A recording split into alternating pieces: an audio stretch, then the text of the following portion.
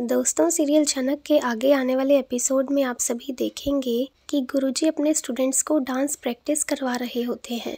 जहाँ उनकी एक स्टूडेंट ठीक से डांस नहीं करती तो गुरुजी उसको डांट देते हैं। वहीं दूसरी तरफ़ झनक साइड में खड़े होकर गुरुजी के सभी इंस्ट्रक्शंस को फॉलो करते हुए अच्छे से सारी डांस की मुद्राएँ कर रही होती है। वहीं एक लड़का, जिसने पहले भी झनक का सपोर्ट किया था, वो नोटिस कर लेता है कि झनक सभी मुद्राएँ बहुत अच्छे से परफॉर्म कर रही है।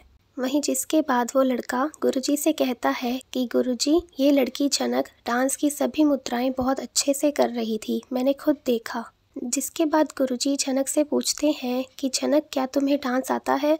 तो झनक डर के मारे कह देती है कि, नहीं, मुझे नहीं आता। लेकिन गुरुजी झनक से कहते हैं कि कोई बात नहीं, तुम्हें जितना आता है और जैसा आता है, तुम वैसा ही मुझे परफॉर्म करके दिखाओ। जिसके बाद झनक इतना अच्छा डांस करती है कि गुरुजी उसके डांस का टैलेंट देखकर उससे इम्प्रेस हो जाते हैं। दोस्तों, इस डांस के बाद गुरुजी को एक बहुत ही अच्छा शिष्य मिल गया है। अब वो झनक को बहुत आगे तक लेकर जाएँगे। तो दोस्तों, इस पर आपकी क्या राय है? आप अपनी राय हमें कमेंट बॉक्स में कमेंट करके बता सकते हैं।